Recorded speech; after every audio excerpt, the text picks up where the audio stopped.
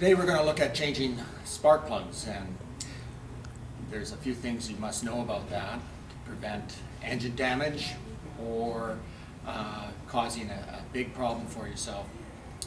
The first thing is the new engines have uh, a problem with carbon because this part of the plug right here may go into the combustion chamber, the front threads. It may carbon up. And if it carbons up and you start taking it out, the carbon will bind in the threads in the head. So if it starts to get tight when you're removing it, you stop, you move it back a little bit, and then you put uh, penetrating fluid in the, either the spark plug well or around this area and let it sit for 30 minutes. And then you try work its way out. You never go over 30 pounds, uh, 30 pounds uh, torque, foot pounds torque to remove it. And if it doesn't come out, then put it back. If you have any of the, these problems at this shop, you, you see the instructor. The other thing is, you should use the proper spark plug socket. Now this one is a, a long one for Hemi heads, and Hemi heads, as you'll see in this picture I'll show you, Hemi heads have the spark plug in the middle of the valve cover, and there's a well, and you can see on the bottom part here there's a, a well where the spark plug would come out, but it's pretty far down there, and that's why we use the long socket. Uh, the other thing is that's what has to be cleaned before you um, remove the spark plug because if there's any debris in there it'll fall into the engine. And you can clean it with either uh, compressed air you must wear goggles because whatever's in there can fly back in your face or a vacuum cleaner. But then take a light and look inside to make sure it's clean. You must remember is to pull the spark plug wire out by the boot. And there may be oil on the bottom of that. That valve cover seals at the bottom of that well, and it could leak there. And if there's oil on the bottom of, of the uh, well, it then there's further repairs that need to be done. You need to tell the instructor. So the socket goes down in the spark plug well. Now, once you obtain this from the instructor, you're responsible for it and it must come back by you to the instructor when you're finished with it. Do not leave it on the job, even if you're not finished. So we've obtained uh, that spark plug wrench. This can be used for any spark plugs as long as it's the right size. The other one is the uh, universal spark plug socket. It's a specialty socket. And it's got um, a rubber insert so it holds this, the uh, spark plug and it's good for putting it back in. That's that one. Now, if you, if you have a socket, some of these that uh, the rubber insert is deteriorated, you, you can use an old spark plug wire to hold the socket to start it, but we'll get to that in a minute. So, the other issue you have to deal with, and changing spark plugs can be a struggle. As you see in the saw in the uh, previous um, photograph, the spark plugs are accessible on one head and they're not on the other. And the uh, intake plenum has to actually come off to do the other three spark plugs in that particular picture. Believe it or not, the spark plugs are under this plenum and that has to come off to get at those spark plugs. I had a good look at this and that's just the way it is. That's why they have platinum spark plugs in, in this particular engine. So that doesn't have to, have to happen very often, but that's where they are. One of the things that we have to watch is when we pull the spark plug wire off. If it has spark plug wires, a lot of them have coil and plug and you just take the coil off and that usually works out quite well. And then you would uh, clean the spark plug well. As uh, I'll show you in, in the picture. You look at the spark plug well and listen. Said previous, that's the well you have to clean and that's a must. So it's very, very important that you do that and uh, watch for oil. Once the boot's off, you do not, do not pull the wire But if you do, and, it, and the wire comes off and the boot stays on, we have the means of fixing it, and therefore it's not a big issue. Just tell me, and uh, we'll we'll get it fixed or buy a new spark plug wire. It's not a big deal. Don't be afraid of that. As I said, pull the boot with your fingers. Don't don't pull on the wire, and you're gonna have to twist it back and forth sometimes. Some some are gonna be so hard to come out that you're gonna have to get some help because they they seize on the actual porcelain of the spark plug. But pull on the boot, and uh, if you have any trouble, just see the instructor.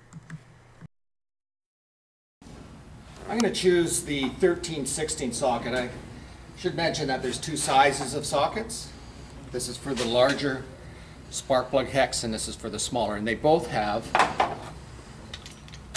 the rubber insert. So I've chosen this one I, um, so that it will not, the rubber insert also uh, the pressure on the porcelain so you don't uh, crack the porcelain. You just use a, a deep 13 16 it can go a little sideways on the, on the spark plug and break the, the porcelain, which again, if it happens, it happens. You can let me know. So I've removed the spark plug wire. And I've got some extensions that I can have a free uh, radius to remove the plug. And comes, and as soon as it becomes loose, I'll take it out by hand.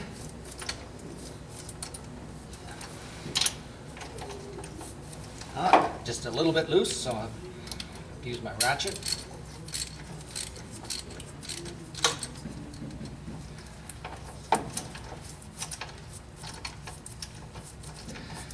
Now it comes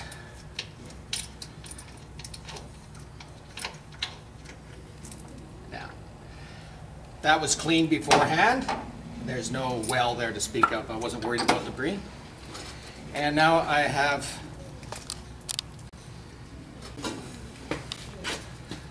got my spark plug out and it looks brand new, but it's not. You can see the ground tang and the center electrode extends quite far out of the uh, ceramic insulator. And of course, the length of that ceramic insulator tells you how hot the plug will be if you were comparing plug, spark plugs. And I'm looking for uh, cracks in the porcelain. If there was an engine miss, sometimes these crack from heat. And I'm looking at the, the general appearance of it, how much burnt oil is on it or anything.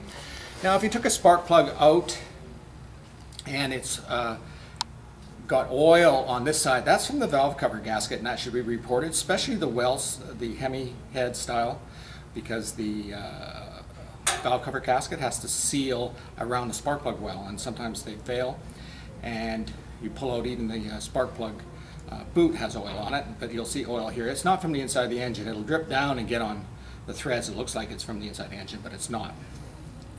Now, rarely do you gap and put plugs, uh, spark plugs in, and, and I'm checking the right number. I do have the right number for the new spark plugs, but the gap there is a specification on the gap, but it should be parallel. The ground tang and the center electrode, the flat of it, should be parallel. And you can do that by eye. You can see that one's parallel. Now, generally, uh, this one, this spark plug would go back in. I could clean the threads on the wire wheel, which is another demonstration, and put it back if there was any debris on them, but there's not much debris. I think I would try this one first. Um, but this is very important. When you replace a spark plug, or you're putting the spark plug in, you must thread it by hand, and you must be absolutely sure that it's threaded properly before you put a ratchet on the socket. So I'll show you that. And if you have any trouble with this, you just see the instructor and let him take care of it. And the responsibility of any engine damage is off your shoulders. Do not go ahead without being hundred percent sure. And some of them are easier to start than others. Usually the wells, the deep wells type, type, the uh, hemispherical are pretty easy to start. And I can feel those threads and they, I can't pull it out and it's not changing tightness as I put it in. I put it in about five threads.